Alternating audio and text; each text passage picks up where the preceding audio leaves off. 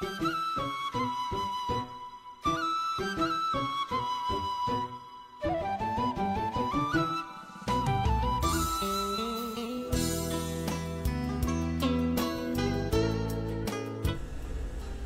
sách giải trí và giáo dục tinh hoa. Xin trân trọng giới thiệu đến quý vị tiểu thuyết đêm không cùng của tác giả nhà văn lê xuyên. Người đọc thái hoàng phi.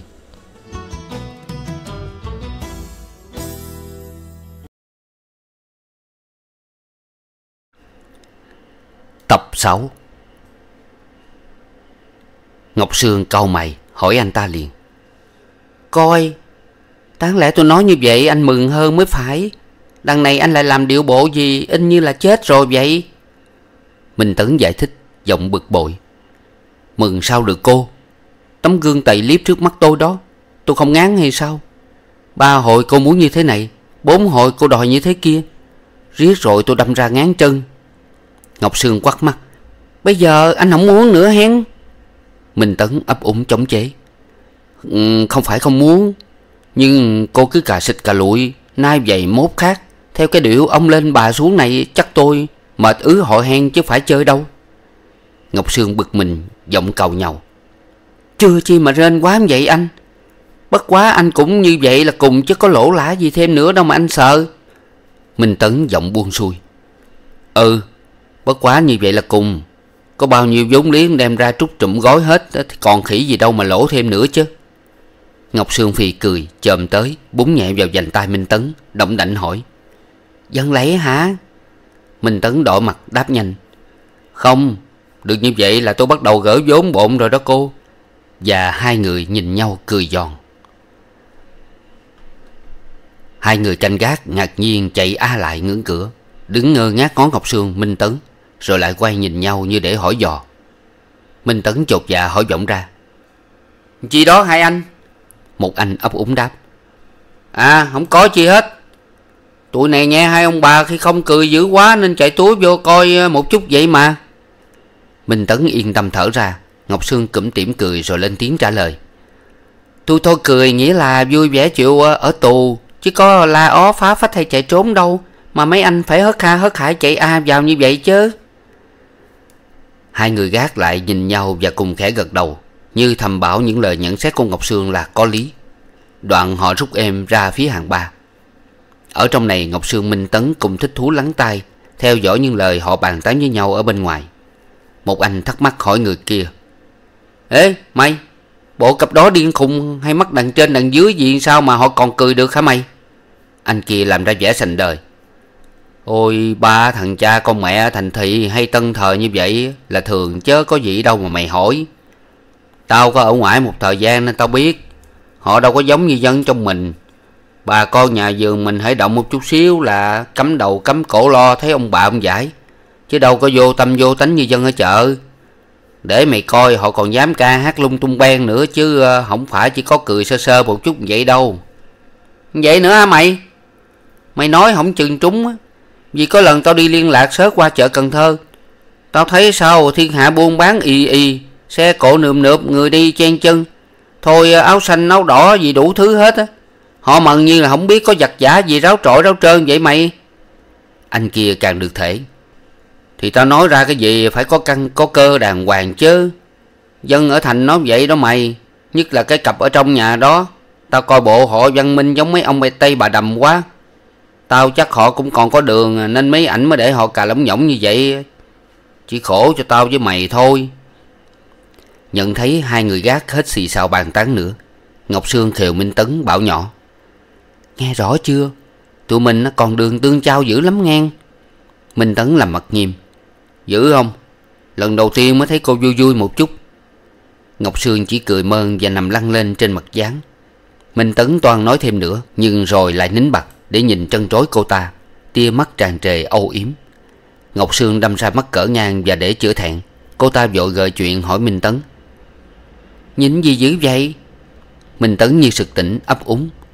À không. Rồi vội ngó lơ sang chỗ khác.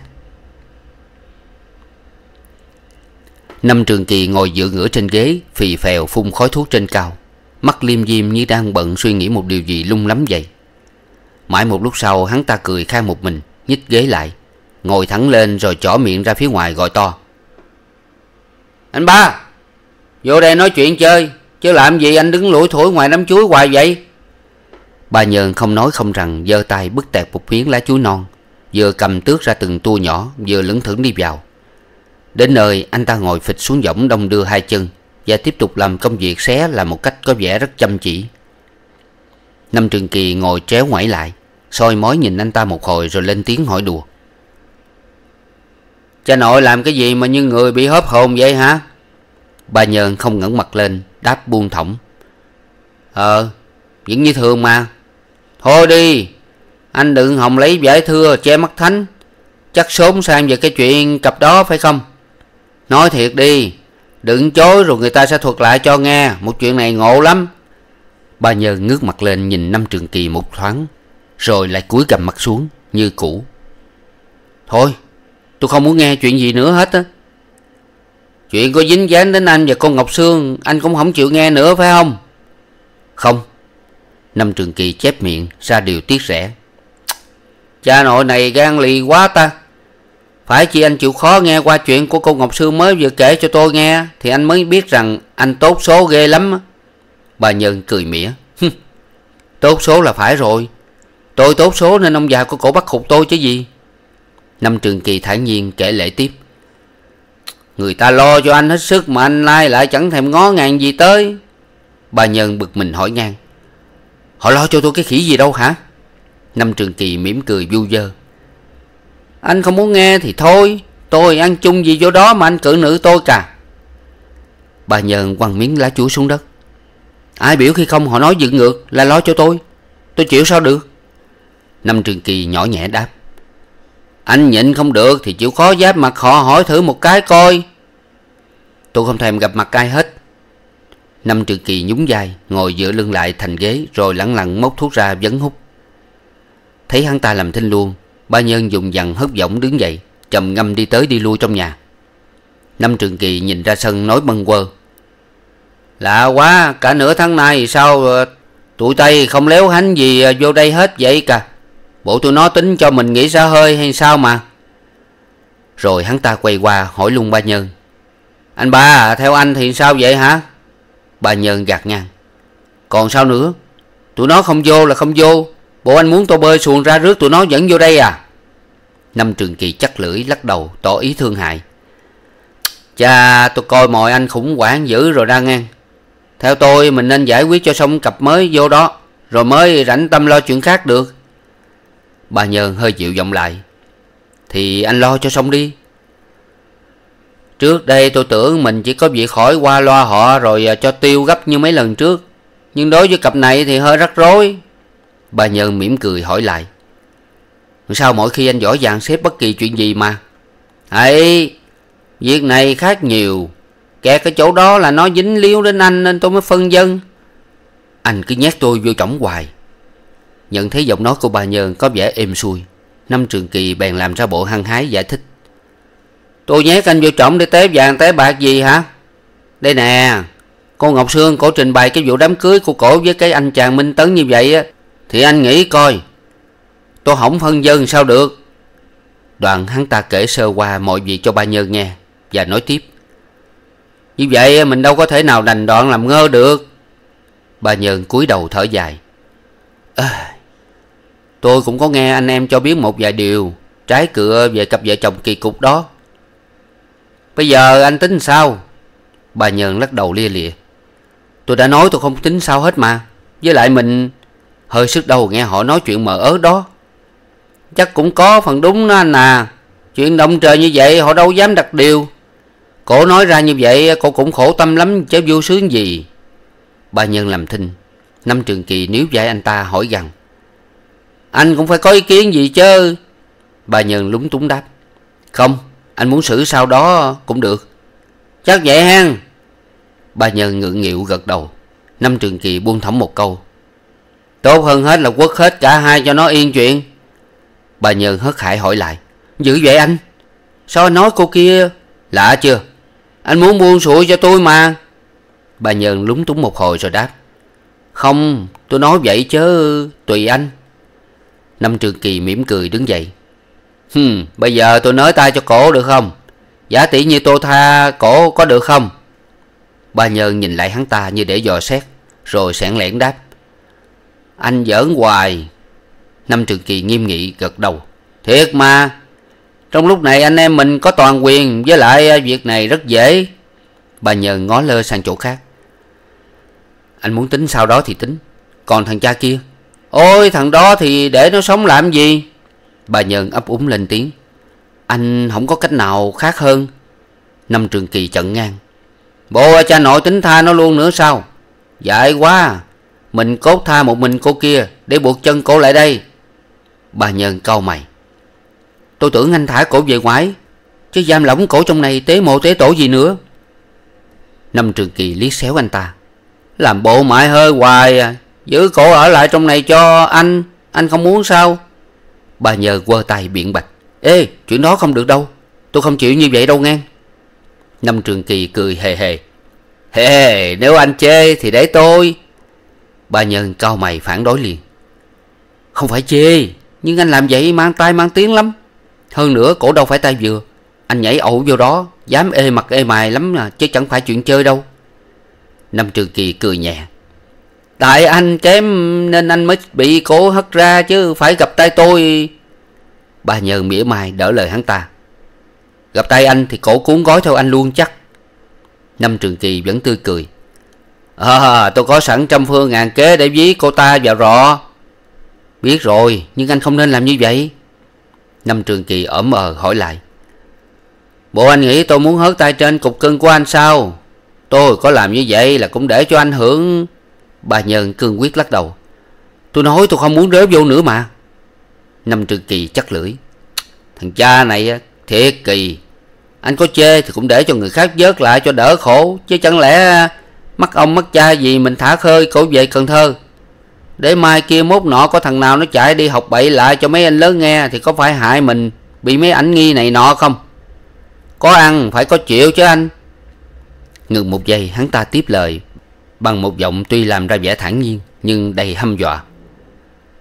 Việc này tôi chỉ đứng cửa giữa, Nên không nài ép gì anh hết. Nếu anh sợ mang tay mang tiếng Thì càng dễ cho tôi. Bà Nhơn lo ngại, hỏi liền. Sao lại dễ hả anh? Năm Trường Kỳ vừa lững thững bỏ đi ra phía cửa, Vừa buông thõng một câu.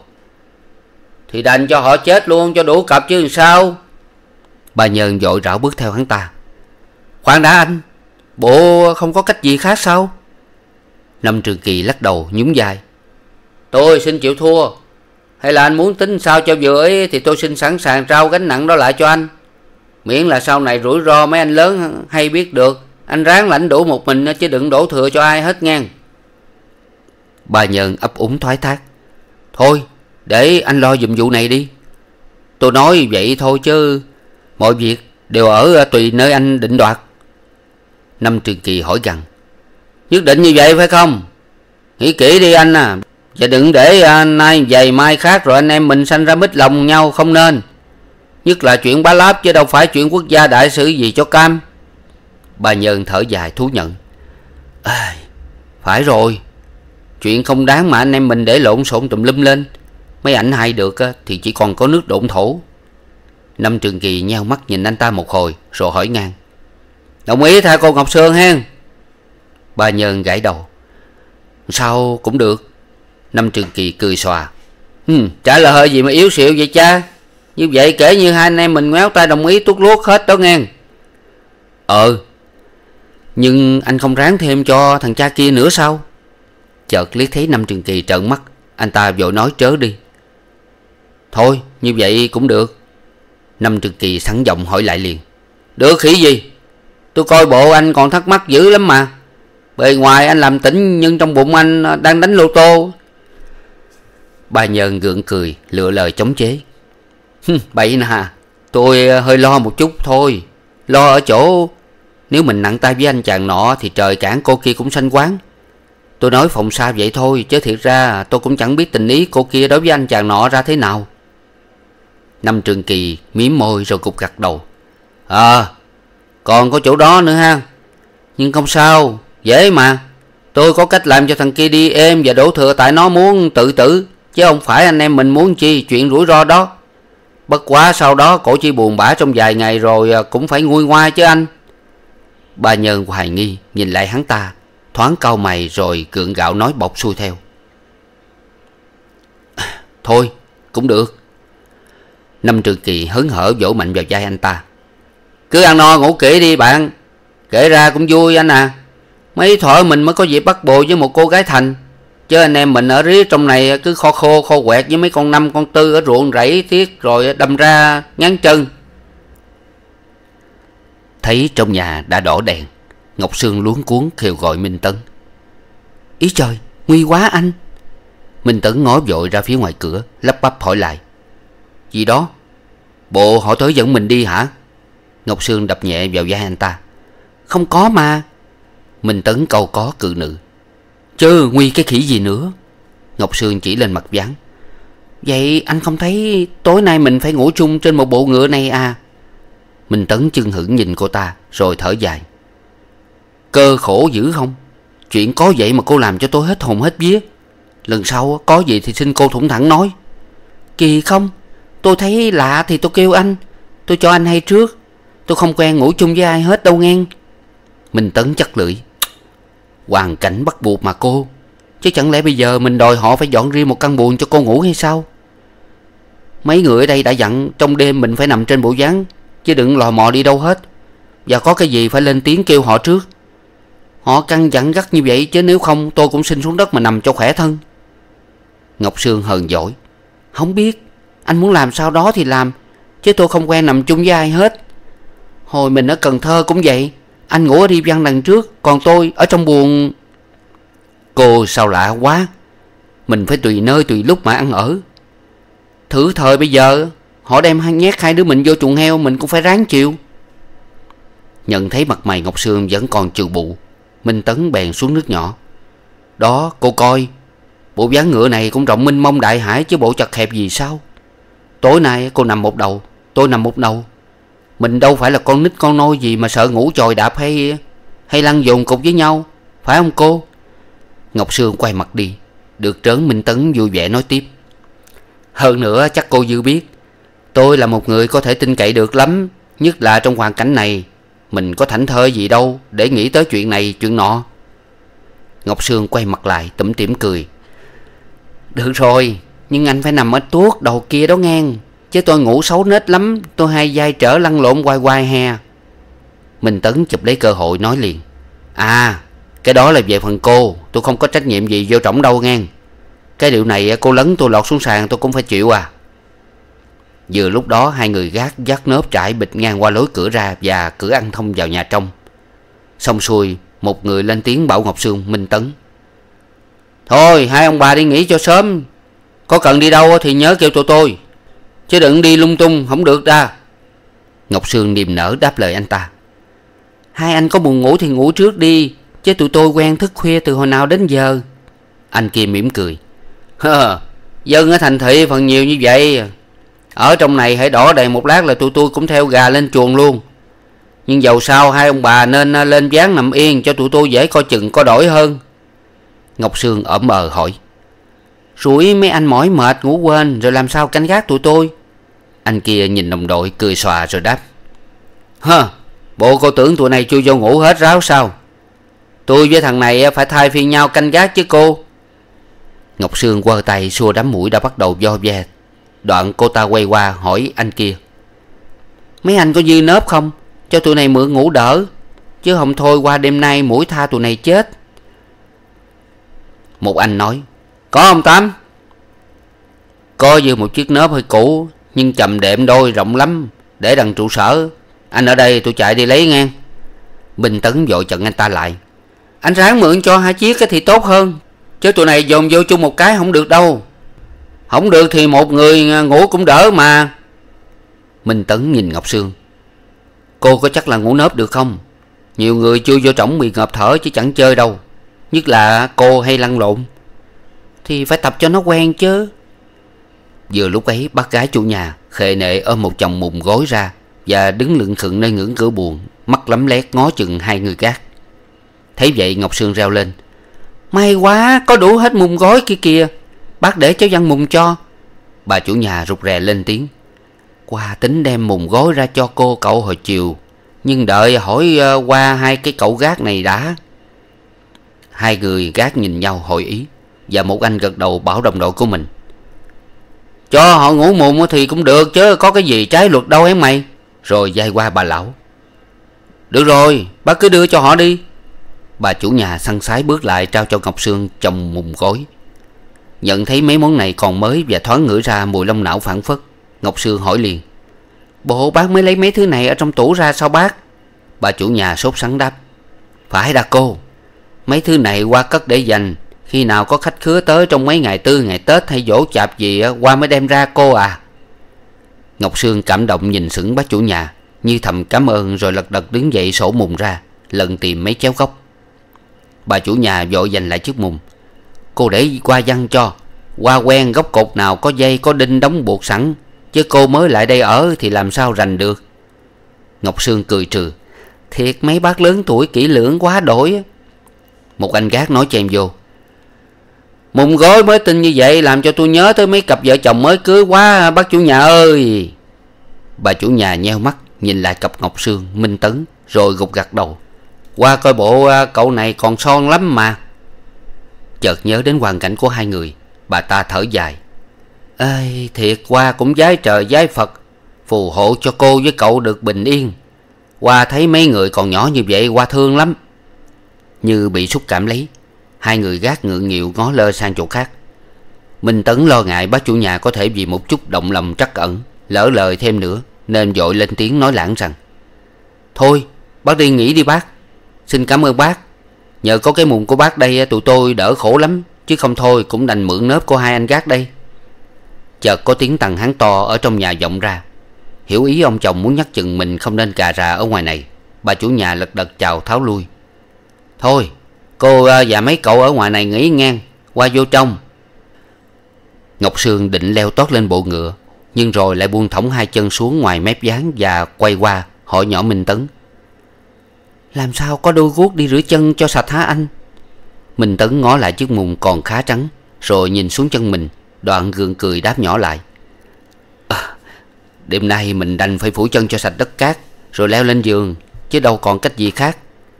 Để qua đến ngày mai tụi mình sẽ tính. Nhưng dẫu sao mình cũng không nên để lộ vẻ sạch sẽ hay sang trọng quá không có lợi cô à. Cô ráng để ý chút đỉnh về chuyện đó. Ngọc sương vừa dùng dằn dỗ mạnh hai bàn chân vào nhau vừa phụng phiệu càng nhằn minh tấn. Anh sao như ông già bảy mươi? Hèn chi ba tôi ổng chịu anh quá cũng phải. Nói đoạn, cô ta chui vào mùng lui cui lo tấn mí mùng riêng bên phòng mình, rồi nằm co rút ở sát bên phía trong gián minh tấn mỉm cười lắc đầu nhìn cô ta và lặng lẽ nằm xuống ở bên này góc ngựa, sau khi qua tay ghép sơ phần mí chiếu của mình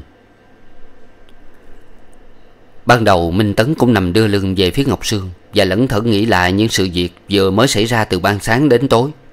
Anh ta mỉm cười một mình và tự kết luận. À, Tới giờ phút này mà còn được ở ngủ yên trong mùng như vậy Thì cuộc đời vẫn hay còn chưa tàn. Nghĩ quanh nghĩ quẩn một hồi Minh Tấn đổi bộ nằm ngửa lại để cho được thoải mái hơn. Anh ta vơ vẫn hết nhìn lên nóc mùng Tới lơ đảng nghe tiếng thằng lằn chắc lưỡi trong vách lá. Để rồi cuối cùng liếc mắt về phía Ngọc Sương. Nhận thấy cô ta vẫn còn quay mặt vô phía trong, Minh Tấn yên tâm nghiêng hẳn đầu, Ngó thẳng về bên ấy. Anh ta đâm ra hồi hộp lạ thường, Và chợt nhớ ra rằng đây là lần đầu tiên Kể từ ngày cưới, Anh ta được dịp nằm gần Ngọc Sương.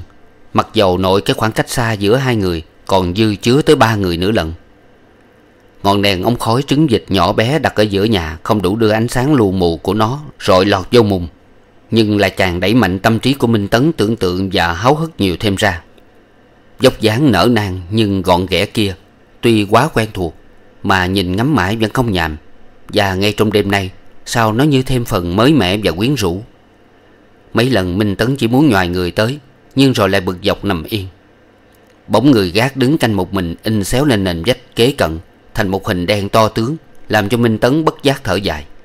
Anh ta giật mình vì chợt nghe tiếng Ngọc Sương ú ớ, Nói những tiếng gì không rõ, Và lại thấy cô ta cựa quậy tròi chân, quơ tay rồi nằm ngửa trở ra, mớ tóc đen dài xõa tung trên một bên gối. Minh Tấn ngồi hẳn đầu lên và khẽ gọi. Cô hai Cô hai. Gì mà cô mới quá vậy cô? Chỉ có tiếng Ngọc Sương thở đều đều. Minh Tấn muốn giới tay lai nhẹ vai cô ta, Nhưng rồi lại không dám. Anh gác tò mò bước lại gần bộ ngựa và hỏi vọng vô. Gì mà kêu réo giật ngựa trọng vậy anh? Minh Tấn ngồi nhổm dậy đáp. Cô ngủ mơ, Chứ không có gì lạ anh à. Anh kia cười nhẹ rồi bỏ đi ra phía gần cửa. Minh Tấn lặng nhìn Ngọc Sương một chập nữa, Rồi nằm trở xuống như cũ Và cố nhắm mắt lại để dỗ giấc ngủ. Bỗng có tiếng Ngọc Sương chép miệng mấy cái liền, Rồi lại rên nho nhỏ và nhừa nhừa. Minh Tấn vội vàng nhoài người lại gần bên cô ta để nghe ngóng. Vì thật tình anh ta cũng lo ngại rằng cô ta bị trúng phong Hay đau bụng gì bất tử. Nhưng Ngọc Sương vẫn ngủ mê mệt Sau suốt một ngày quá xáo động Vì những chuyện bất thường nhất. Hơi yên tâm một chút, Minh Tấn vừa định lăn mình nằm trở về chỗ cũ, Thì chợt nhận thấy một giặt áo túi của Ngọc Sương bị lật xếp ngược lên trên. Sợ Ngọc Sương bị lạnh, Minh Tấn vội ngó quanh ngó quẩn để tìm một món gì đắp đỡ cho cô ta, Nhưng đành chịu thúc thủ. Chẳng lẽ phải đánh thức cô ta dậy vì một chuyện có chút xíu và dễ ợt đó? Còn tự tay cầm lấy vạt áo để đắp lên khoảng bụng thon dẹp và trắng mát kia, Thì anh ta lại rụt rè. Mà làm ngơ để mặc cho Ngọc Sương ngủ như thế, Sợ cô ta bị lạnh bụng. Cuối cùng, Minh Tấn đành rón rén đưa tay ra, Run run nắm lấy chót vạt áo túi, Rồi hấp tấp lật phủ xuống y như cũ. Đúng vào lúc ấy, Ngọc Sương nằm lăn qua. Minh Tấn hốt quảng rút tay về Và đồng thời nhích người gian ra để né tránh trước. Cũng may cánh tay trái cô Ngọc Sương quơ qua vừa bán đụng vai Minh Tấn Và khiến cho anh ta phải nhích thụt lui gấp về phần góc chiếu của mình. Ngọc Sương vẫn ngủ mê mệt Và Minh Tấn tò mò nhìn cái khoảng chiếu để trống giữa đôi bên này Đã bị Ngọc Sương lấn sang hết một nửa thân mình. Anh ta mỉm cười thầm nghĩ, Cái điều này là mình phải bị cô ta lấn lọt xuống sàn Nếu lỡ ngủ quên. Hai là nếu ráng thức canh chừng thế nào Cũng có lúc cô ta lăn lần sang để rồi sẽ nằm khích rịch bên cạnh mình. Tuy định ngủ cho yên thân trong đêm nay Minh Tấn vẫn thấy náo nức, Muốn chờ đợi cái lúc khó xử thích thú ấy. Và anh ta quyết dương mắt thức canh chừng. Nhưng độ nửa giờ sau, Minh Tấn thỏn mọn ngủ mê đi lúc nào chẳng biết. Mãi đến khi gần sáng, Anh ta mới giật mình tỉnh giấc Và cảm thấy có vật gì đè nặng trên ngực Và bên mình lại có hơi ấm. Anh ta mở tròn mắt ra, ngóc đầu dậy và đâm ra bối rối ngay khi nhận thấy Ngọc Sương đang nằm sát bên cạnh, Và cánh tay của cô ta đang đè gác lên ngực mình. Minh Tấn lúng túng chẳng biết dây trở ra làm sao. Kêu Ngọc Sương thức dậy thì uổng, Mà nằm chết cũng như vậy để chịu trận thì mệt quá. Còn làm sấn tới thì nhất định anh ta không muốn và không dám rồi. Vừa lúc ấy, Có lẽ vì bị thấm lạnh thêm Nên Ngọc Sương nép sát vào mình Minh Tấn một chút nữa. Minh Tấn nhận rõ từng hơi thở đều và ấm của Ngọc Sương Phả lên một bên vai của mình. Và lần hồi anh ta cũng phân biệt được hơi hám nào của tóc tai Của da thịt. Nằm chết trần để chịu đựng như thế trong một hồi lâu, Minh Tấn đã bắt đầu cảm thấy ê ẩm khắp thân mình Và tay chân như sắp bị tê cứng đến nơi. Anh ta khẽ nhích người ra một chút Để đủ chỗ lật nghiêng mình. Đoạn lay nhẹ tay Ngọc Sương. Cô ơi, Cô, Thức dậy cô. Ngọc Sương dặn mình ú ớ. Rồi rút đầu hẳn vào ngực Minh Tấn Như để tìm một chỗ ấm áp hơn. Minh Tấn lại lay gọi một lần nữa. Ngọc Sương ư ử cào nhau Như bực mình vì bị quấy rầy trong lúc còn say ngủ. Mãi một lúc sau, cô chớp mắt liền mấy cái, Rồi lặng im như để đánh hơi. Bỗng cô ta mở tròn mắt ra, Vừa xô mạnh Minh Tấn, Vừa công mình thụt lui, Vừa xí sọn cự nữ. Anh này, Kỳ quá hà? Sao anh nằm lăn qua phía tôi hả? Minh Tấn trả lời một cách tỉnh khô. Coi, Cô nói sướng không? Đáng lẽ tôi không trách cô thì thôi, Đằng này thiếu điều cô muốn mắng xối xả trên đầu tôi nữa chứ. Ngọc Sương rướng giọng tới. Ngộ không? Bộ anh tính nói trây ra hay là mặt chai mày đá với tôi sao chứ? Chứ ai, Hồi nãy nằm khích đeo bên mình tôi. Minh Tấn mỉm cười. Cô làm ơn ngó lại bộ dáng ngựa giùm tôi. Hồi đầu hôm tới giờ tôi vẫn nằm yên nguyên ở đầu đằng này mà. Ngọc Sương dụi mắt nhìn ra bốn bên. Rồi ngồi rột dậy. Sẻn lẻn trách Minh Tấn. Sao anh không cho tôi hay trước? Cô có để cho tôi kịp mở miệng phân trận đâu. Ngọc Sương ngượng nghịu Ngồi nhích ra thêm một chút. Anh ác lắm. Anh muốn để cho tôi trật đường ray mà. Thấy Minh Tấn cười tủm tỉm một cách thích thú Ngọc Sương vội lựa lời tự bào chữa. Tại suốt ngày hôm qua Phần thì lộ ruộng mệt mỏi Phần thì bị nhiều chuyện dồn dập tới nên tôi đặt lưng xuống là ngủ mê man, Không còn biết đất trời gì nữa. Có nhiều là như vậy rồi. Ngọc Sương liếc chừng Minh Tấn rồi ngập ngừng hỏi. Còn anh, Chắc anh cũng ngủ mê mệt như tôi. Ờ Anh có biết tôi lấn sang bên anh hồi nào không? Chắc mới đó chứ gì. Minh Tấn vẫn giữ giọng mập mờ. Ờ ừ, Chắc cũng không lâu đâu. Ngọc Sương nhìn lại Minh Tấn như để dò xét, Rồi lại thắc mắc hỏi thêm. Không biết trong lúc ngủ mà tôi có quơ đạp gì trúng anh không? Biết là Ngọc Sương hỏi dò mình. Minh Tấn cười bí hiểm thản nhiên đáp. Ờ chỉ đụng nhẹ nhẹ thôi. Ngọc Sương nhíu mày. Sao anh nói anh cũng ngủ mê như tôi mà? Phải, nhưng tôi giật mình thức dậy trước cô. Ngọc Sương ngượng nghịu hỏi thêm. Chắc anh trở dậy rồi anh kêu tôi liền chứ? Minh Tấn lại mỉm cười. Ừ kêu cô liền. Nhưng cô ngủ mê quá. Ngọc Sương sụ mặt. Tôi nghe anh lay gọi là tôi lồm cồm ngồi dậy liền mà. Tôi nghi anh quá. Minh Tấn hớm hỉnh hỏi lại. Nghi cái khỉ gì cô? Ngọc Sương lừ mắt nhìn anh ta. Hứ, Bây giờ có hỏi anh cũng chối leo lẻo. Minh Tấn làm ra vẻ nghiêm trang. Nếu cô không tin thì tôi xin thề. Đây nè Nếu tôi mà có thọ tay mặt đặt tay trái. Ngọc Sương chồm lên. Xô mạnh anh ta Để chặn không cho tiếp lời. Rồi đỏng đảnh nói ác đi. Nghĩ đi anh, Không thèm nói chuyện với anh nữa. Thôi, tôi đi rửa mặt đây. Và như sợ Minh Tấn nói trây thêm nữa, Cô ta nhanh nhẹn tóc mùng bước xuống ngựa, Đi thẳng vào nhà sau. Minh Tấn khoan khoái vươn dài Rồi vui vẻ đứng lên cuốn mùng Ánh nắng ban mai đã bắt đầu rọi xuyên qua Mấy lỗ mắt cáo trên vách nhà. Minh Tấn lắng tai nghe chim trao trảo đuổi nhau trên cây ổi trước sân. Và tự nhiên, anh ta cảm thấy yêu đời hơn lúc nào hết. Năm Trường Kỳ tươi cười bước vô nhà, Thân mật tiến đến vỗ dài Minh Tấn. Khỏe chứ ông bạn? Dạ cảm ơn anh. Tụi tôi được như thường. Hắn ta quay sang phía Ngọc Sương. Còn cô? Ngọc Sương gượng cười đáp. Tôi cũng như thường. Chợt để ý đến bộ quần áo của Ngọc Sương Vừa nhầu vừa dính bùn đất. Hắn ta chắc lưỡi kêu lên. À sao hôm qua cô không biểu tôi kiếm quần áo khác cho cô thay đổi? Anh Tấn này nữa cũng vậy. Ngọc Sương sẻn lẻn đưa tay trì vuốt mấy nếp nhăn trên chiếc áo vải ba tích trắng. Dạ tôi tính để hỏi mượn đỡ của bác gái chủ nhà. Năm Trường Kỳ trề môi lắc đầu. Cô để tôi lo cho. Cô, người như vậy mà bận thứ áo của mấy bà già trầu vô coi sao được? Để tôi kiếm mấy chị em phụ nữ xem. Cô nào có dốc dạng như cô, tôi sẽ mượn vài bộ bà ba đen cho cô mặc đỡ. Tuy là thứ bằng giấy đen thường chứ không phải lụa là gì hết.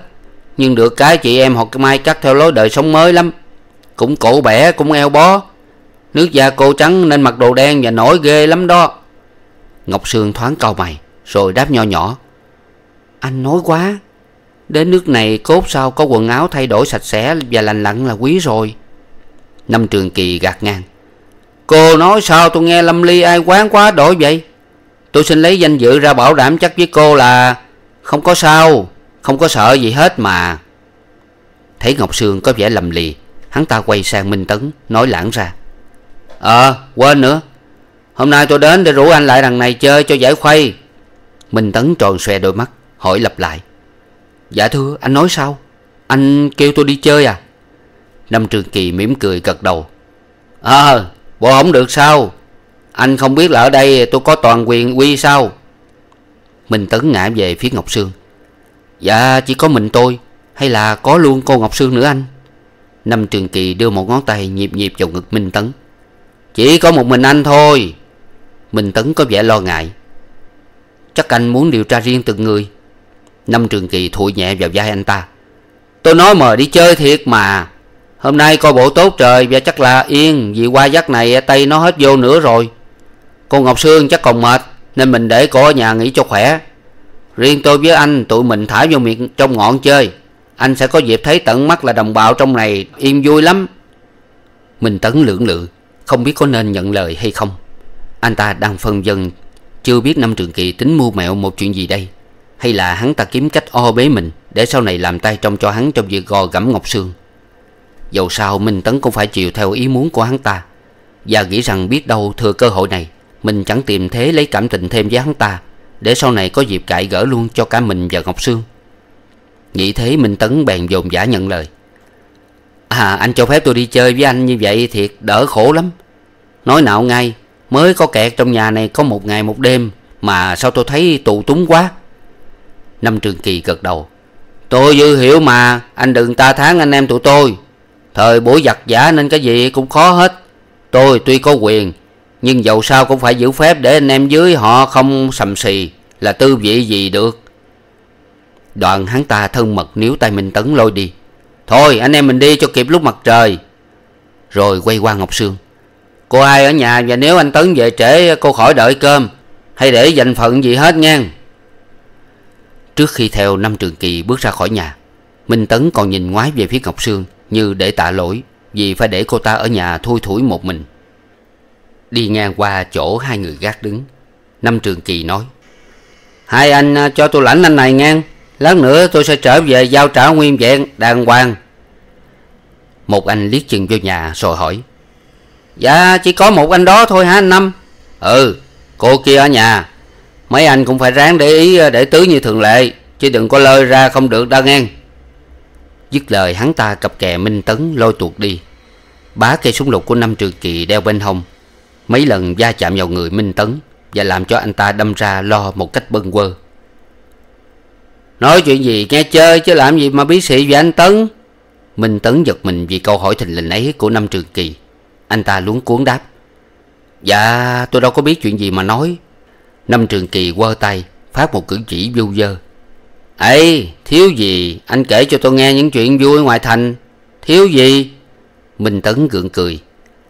Dạ mấy thứ chuyện đó Tôi sợ không hợp với anh. Năm trường kỳ cười ha hả. Bây giờ quanh đi quẩn lại chỉ có hai đứa mình Thì ngại gì. Tôi cũng là người trần mắt thịt như mọi tên khác Chứ bộ thần thánh gì sao anh. Rồi hắn ta thấp giọng Ra điều muốn tâm sự. Tôi ở trong này như vậy Coi lơ mơ vậy mà đắc mèo ghê lắm á. Nếu anh còn ở đây lâu Tôi sẽ làm mối cho anh đôi ba cô. Tuy hơi đen đúa cục mình một chút, Nhưng cam đoan với anh à, Mấy cô không thua mấy cô tân thời ngoài thành đâu. Mà lại dễ xài à Chứ không hay làm bộ cao kỳ và nhõng nhẽo như mấy cô ở ngoài anh đâu. Minh Tấn cười đáp. Dạ cái món đó tôi xin chịu thua. Gì dở quá vậy? Anh chơi hả? Lâu lắm anh đổi bữa một lần. Tôi sợ anh chết mê, chết mệt chứ. Minh Tấn rụt rè nói vô. Không phải dám chê, Nhưng anh cũng nên xét dùm cho hoàn cảnh của tôi. Tôi chỉ mong sao được anh rộng lượng đôi chút là đủ quá rồi. Năm Trường Kỳ vỗ đùi đánh bếp một cái rồi kêu lên. À cha nội này cứ lo chuyện đó hoài hà. Teo ruột, teo gan hết thì còn mà ăn khỉ gì được. Anh sao khó quá. Anh được thông dong đi chơi với tôi như vậy Thì cũng đủ biết là biệt cửa cái sợ cái gì nữa. Rồi hắn ta chợt nghiêm giọng lại. Nhưng tôi cũng xin nói trước đây, Anh đừng thấy tôi dễ dãi. Rồi tính chuyện qua mặt thì à, mệt đang ngang. Minh Tấn hơi mỉm cười. Thôi đâu có dại đến mức ấy. Năm Trường Kỳ gật gù có vẻ ưng ý, Rồi lặng thinh đi tới.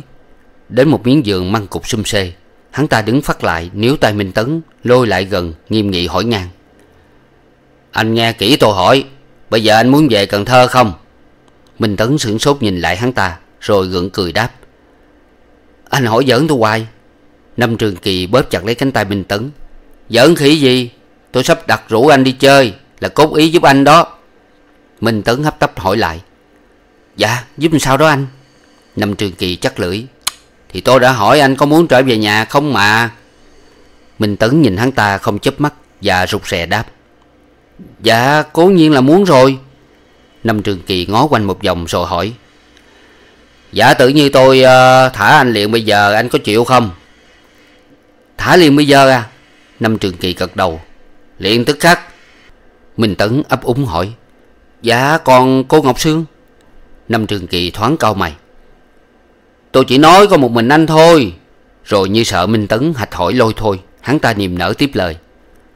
Tôi phải tính lần lần mới được, Chứ khi không đem ra thả ngang một lượt cả hai người sao được? Anh đừng lo cho cổ gì hết. Trường hợp của cổ nhẹ bông chứ có phải giống như anh đâu. Và cũng vì chỗ đó mà tôi mới lo cho anh trước. Minh Tấn đưa chân đá đá một hòn đất. Phải chi anh thả luôn cho hai đứa tôi Thì may mắn quá. Năm Trường Kỳ sẵn giọng. Cái anh này thiệt kỳ khôi. Anh về ngoại trước rồi năm mười bữa nữa cổ cũng theo luôn. Như vậy là cửa cha thiên hạ rồi. Chứ còn gì mà anh lại chèo kéo nữa chứ? Minh Tấn ấp úng đưa lời. Dạ tôi tưởng anh có quyền thả Thì thả luôn hai đứa. Quyền thì quyền chứ anh là việc gian sờ sờ ra đó. Rồi biểu tôi để cho hai ông bà cặp kệ nhau đi ngờ ngờ về ngoài được sao? Tôi có thể cho anh đi đây là tôi thả lén. Rủi ro mấy anh lớn hay được, tôi cũng trần thân cho bộ yên sao? Mình Tấn trố mắt. Anh thả lén à? Như vậy rủi ờ, tôi đi ra khỏi vùng này. Rồi có mấy anh em khác chận bắt lại thì sao? Năm Trường Kỳ đáp càng. Ôi đừng có lo, Tôi sẽ chỉ lối cho anh đi. Đường đi nước bước nội trong vùng này tôi nắm vững trong bàn tay. Chỗ nào cũng có trạm gác, Tôi cũng sẽ chỉ luôn cho anh. Anh cứ liệu tránh những nơi đó Rồi nhắm chừng phương hướng mà lo về Cần Thơ. Việc này cũng dễ. Minh Tấn có vẻ ngần ngừ. Nếu anh chỉ bảo cho như vậy Thì may ra tôi cũng đi thoát về ngoài. Nhưng còn cô Ngọc Sương, Tôi về tới Cần Thơ rồi biết ăn nói làm sao với ông bà già của cổ. Năm Trường Kỳ cao có. Anh cứ lo thân anh cho xong cái đi. Vì khó khăn mà anh còn đòi hỏi nhiều quá sao được? Tôi chỉ ráng ủng hộ anh tới mức này thôi, Chứ không thể làm hơn được. Thấy Minh Tấn không nói năng gì, Hắn ta tiếp lời, Giọng vừa đẩy đưa, vừa hăm dọa. Tùy ý anh Anh có khôn thì tôi giúp liều anh một phen, Bằng anh dùng văn à, cũng được. Nhưng sau này rủi ro có chuyện gì trắc trở, Anh ráng chịu chứ đừng than trời trách đất nghe Minh Tấn vội nói đỡ. Anh muốn giúp như vậy thật quá cả sự mong ước của tôi. Phần tôi một khi thoát khỏi nơi này là xong hết. Nhưng còn anh? Rồi sau này mấy anh lớn hay được, Anh làm sao trả lời cho xuôi Năm Trường Kỳ tươi tỉnh trở lại. Hơ, kệ tôi mà. Tôi có cách nói sao cho em thì thôi. Chắc anh Dư biết tôi đâu đến nỗi dại. Đoạn hắn ta níu tay Minh Tấn lôi đi. Đây, Anh cứ lội theo bờ giường này, Đi thẳng vô đồng, Rồi cứ nhắm hướng đi bọc vòng ra lỗ xe. Có gặp ai thì liệu mà tránh mặt họ là tốt hơn. À quên nữa. Tôi có giấu sẵn ở đây một bộ bài ba đen cũ Để tôi lấy đưa anh bận. Như vậy ít ai để ý đến anh. Không đợi cho Minh Tấn trả lời, Hắn chạy tới một góc măng cục gần đó Mồi dưới đống lá khô lấy ra một cái gối quần áo nhỏ, Rồi hấp tấp mang lại cho Minh Tấn. Minh Tấn cầm bộ quần áo cũ trong tay, lừng khừng đứng đó, Và không có vẻ gì muốn nghe theo lời của Năm Trường Kỳ hết. Thấy vậy anh ta quát khối Mau đi cho nội, Anh cứ cà rịch cà tan ở đó hoài. Rủi có ai đi qua đây, ngó thấy tôi với anh chồm chồm xì xào bàn tán như vậy Thì hư chuyện hết. Minh Tấn rụt rè trao gói quần áo lại cho Năm Trường Kỳ, Rồi ấp úng nói ừ, Thôi anh à Anh có lòng tốt muốn giúp, Tôi cảm ơn anh nhiều, Nhưng tôi không đành để anh mang quả vì tôi Và cũng không đành à, bỏ con Ngọc Sương ở lại một mình. Năm Trường Kỳ cau mày nhìn sững anh ta, Rồi cười gằn, Anh tốt bụng với tôi quá ha. Anh cứ nói phức mẹ ra là anh không muốn rời cô kia cho nó gọn hơn. Minh Tấn xuống giọng phân trần. Không phải tôi chẳng tin lời hứa của anh là sẽ thả cô Ngọc Sương sau. Nhưng xin anh hiểu dùm cho, Sở dĩ tôi kẹt trong này là vì tôi không đành để cổ bị nạn một mình. Chắc anh đã được biết về trường hợp tôi bị anh em trong này bắt. Nếu buổi sáng hôm đó tôi chạy vọt luôn đi thì cũng êm. Năm Trường Kỳ cười lạc. Hơ, Té ra anh muốn à, mua khổ chút phiền đó mà. Đoạn hắn hằng học chụp lấy gối quần áo trên tay Minh Tấn, Dục luôn xuống dưới gốc cây, Rồi quay phát đi, Đứng chắp tay sau lưng ngó mông về phía đồng lúa. Minh Tấn thở dài bước lại gần hắn ta, ấp úng lên tiếng. Bây giờ anh tính sao đây, anh? Năm Trường Kỳ chậm chạp quay lại, Giọng thản nhiên. Tính sao nữa bây giờ? Tôi đã lo hết nước mà tới phút chót anh đốc chứng như vậy Thì mụ nội tôi bây giờ cũng co tay. Minh Tấn lựa lời đẩy đưa theo. Dạ bị việc anh thả tôi đây quá bất ngờ. Phải chi anh cho tôi một ngày khác Để tôi về bàn lại với cô Ngọc Sương nghe mọi lẽ. Chứ khi không, tôi dông đi mất biệt. Cô có thể hiểu lầm là chưa gì tôi đã bỏ cuộc, Ham sống một mình. Năm Trường Kỳ cười mũi. Vậy mà anh chối leo lẻo là giữa anh với cổ chưa có gì hết ráo. Anh tình sâu nghĩa nặng với cổ như vậy, Hèn chi anh mới rắc rối như vậy. Minh Tấn vội nói thêm. Mặt khác, nếu tôi đi luôn như vậy Thế nào cô Ngọc Sương cũng bồn chồn lo sợ cho tôi, Vì chẳng biết tôi sống chết dọc đường dọc xá thế nào. Năm Trường Kỳ ngắt ngang. Anh đi rồi tôi cho cổ hay riêng, không được sao. Thấy Minh Tấn làm thinh, Hắn ta tưởng anh này siêu lòng, Nên hỏi luôn. Một lần chót, bây giờ anh có muốn đi không nè? Tuy chưa hiểu rành rọt mưu mô của năm trường kỳ ra sao, Minh Tấn cũng dư rõ ý định của hắn là muốn tách anh ta rời khỏi Ngọc Sương. Nghĩ vậy, anh ta bèn tìm cách quản binh Và luôn thể nhóng xem tình ý của Năm Trường Kỳ. Không nói dấu gì anh, Con chó còn muốn sống, Huống chi tôi. Nhưng anh có lòng giúp tôi thì xin giúp cho trót. Xin anh rộng lượng cho tôi giáp mặt với con Ngọc sư một lần cuối cùng. Trước khi tôi ra đi luôn thì tốt quá. Một lần cuối cùng vì lần này khi về tới Cần Thơ Là tôi lo thu xếp việc nhà, việc cửa gấp, Rồi dông luôn lên Sài Gòn kiếm chỗ làm. Hôm mới bị bắt tôi đã có nói cho anh biết rõ về ý định này. Năm Trường Kỳ càng nhằn. Tôi biết rồi, anh khỏi phải nhắc lại lôi thôi. Minh Tấn hỏi liều tới. Vậy anh có cho phép tôi gặp mặt cô Ngọc Sương không anh? Năm Trường Kỳ đứng lặng thinh một hồi, Rồi đổi giọng niềm nở trở lại. Thôi, chuyện đó anh em mình sẽ tính sau. Bây giờ mình tiếp tục thả rề vô miệng trong chơi, Cho qua buổi sáng nay. Chứ chẳng lẽ mới ra đó lại quay về không tiện? Minh Tấn buông một tiếng dạ miễn cưỡng Rồi lững thững đi theo anh ta. Đến bìa vườn măng, Nơi giáp với mé ruộng, Năm Trường Kỳ đứng lại và dai qua, Vui vẻ bảo Minh Tấn. Hôm nay tôi dặn tụi nó nhà kho một bữa mắm đặc biệt để đãi anh. Dân ở ngoài thành làm sao ăn được cái mắm hạng nhất như tụi tôi trong này? Dạ cố nhiên rồi. Năm Trường Kỳ nhón chân ngó ra ngoài đồng, Rồi khều chỉ cho Minh Tấn thấy một đám bông súng và rau dừa Giữa một khoảng nước trong cách đó độ năm sáu thước. Và hỏi, Anh có ăn được mấy thứ rau cỏ nhà quê đó không anh Tấn? Dạ có. Ngoài chợ Cần Thơ ngày nào dân trong ruộng cũng mang ra Bán đủ thứ hết, Bông súng, rau dừa, rau ngổ Và các thứ dưa đặc biệt như ờ, dưa ngó sen, Dưa môn, bồng bồng. Vậy hả? Anh là dân ở thị thành mà rành quá ha. À Anh chịu khó lội xuống quơ ba mớ bông súng, rau dừa đủ để lát nữa anh em mình chấm mắm ăn chơi. Anh không ngán đĩa đeo đó chứ. Minh Tấn vui vẻ lắc đầu. Dạ tôi cũng từng lội ruộng, lội đầm nhiều rồi mà anh. Nói đoạn anh ta cúi xuống, Do ống quần lên rồi săn sái lội xuống ruộng, quơ tay vạch mấy đám lá lúa Để đi phân tới. Bỗng một tiếng rắc khô khan, Tiến lên cò súng vang lên ở phía sau lưng, Làm cho Minh Tấn quảng kinh quay phát lại. Năm Trường Kỳ cầm lâm lâm trên tay khẩu súng lục mới vừa lên đạn, Nét mặt hắn ta căng thẳng một cách dễ sợ. Minh Tấn ú ớ kêu lên. Kìa, anh! Sao anh móc súng ra chi vậy anh? Năm Trường Kỳ hạ nhanh mũi súng Cười giả lả liền theo đó. Nha cha này nhát như thỏ đế à. Không có sao hết Cứ lội bươn tới đi Để rồi còn về sớm chứ. Minh Tấn ngó chừng khẩu súng trên tay của hắn ta Nhăn nhó nói gần như là lẩm bẩm một mình. Anh làm tôi hết hồn hết vía. Và anh ta đứng yên nguyên một chỗ Và đưa mắt nhìn lơm lơm lên bờ giường. Thấy vậy Năm Trường Kỳ cười xòa Rồi đon đã lựa lời trấn an anh ta Chắc anh thấy tôi móc súng bất tử ra như vậy, Anh đâm ra hồ nghi bậy phải không? Chỗ anh em mình tôi nói thiệt. Nếu tôi có ý định gì khác Thì đời nào tôi suối anh dông đi em. Như hồi nãy tôi đã có đem ra bàn với anh, Mà anh không chịu đó. Minh Tấn khẽ gật đầu, Nhưng lại hỏi ráng thêm một câu nữa. Nhưng có việc gì mà anh khi không lại Làm cái chuyện ớn xương sống quá vậy anh? Năm Trường Kỳ lại nhe răng cười. Thì lâu lâu móc súng ra lên cò chơi không được sao anh? Thôi, nhổ bông súng đi cha nội. Minh Tấn miễn cưỡng quay đi. Lập tức Năm Trường Kỳ cất mũi súng lên. Cẩn thận chĩa ngay vào phía giữa lưng Minh Tấn, Miếm chặt môi, Lấy gân tay Và ngón trỏ đã hơi siết vào thép lạnh của cò súng. Hết tập 6 Còn tiếp.